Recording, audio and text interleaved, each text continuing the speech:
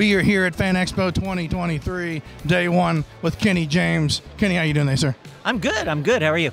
Doing awesome, awesome. You've done voiceover work. You've also done stuff on animation. Can you talk about kind of like what you do with it?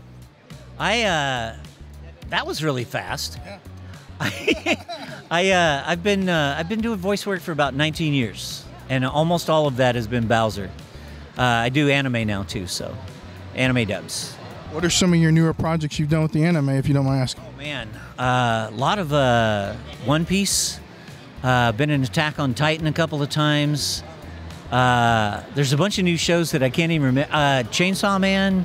I mean, it's just want the guy with the chainsaw head? the, yeah. The list goes on and on. Uh, I've forgotten some of the titles. It's like I have these prints, and I have to, I actually have to look at them to figure out what I've been in. But uh, I live so close to Crunchyroll in, in Dallas that it's a blast.